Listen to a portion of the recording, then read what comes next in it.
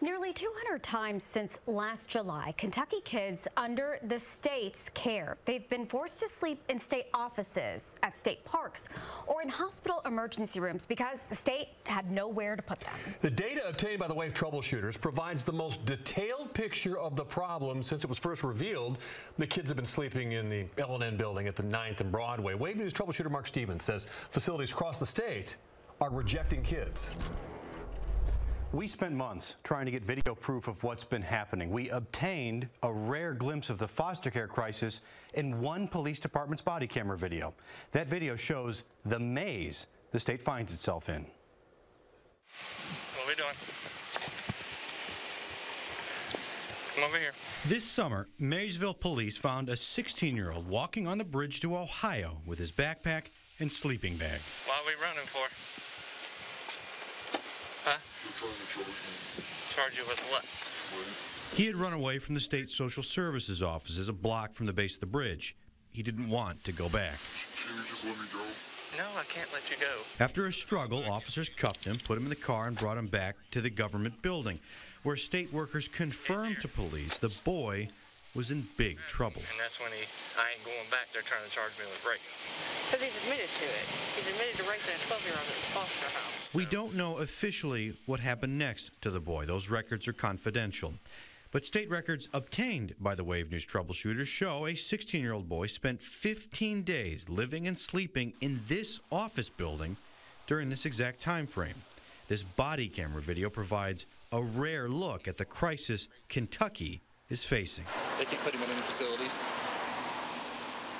No, because he's been turned down all over the state.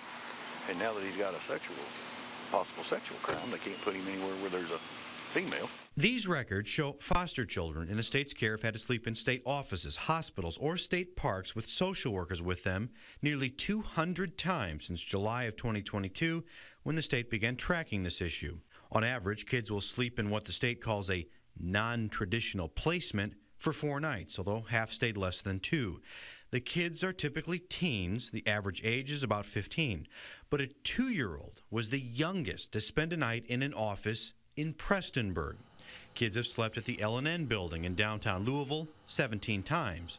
One child spent six nights sleeping at the Barren River State Park Lodge, but state workers told the judge in one case the lake presents a safety hazard to kids who may want to hurt themselves.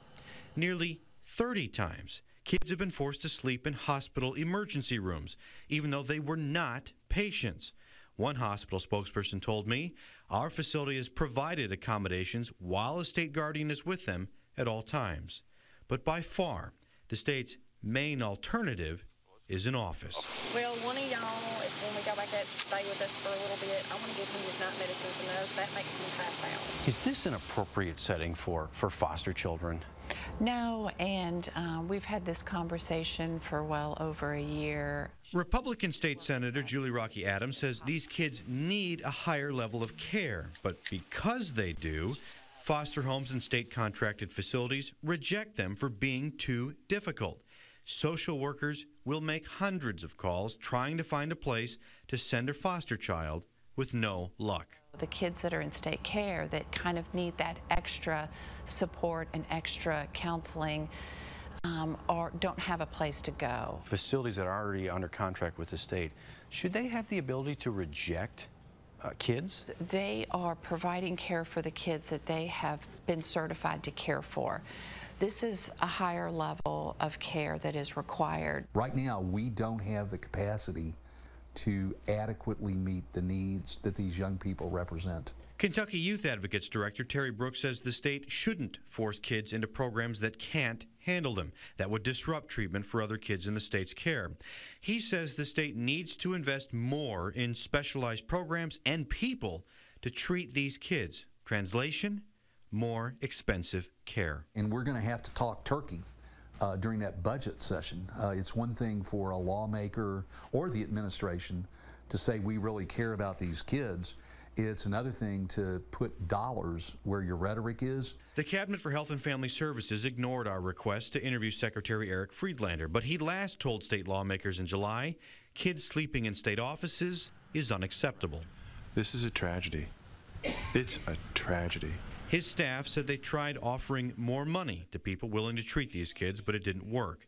Now the state has asked for companies to provide some type of program to treat up to 24 kids with the toughest cases. We can't be that state. These are kids.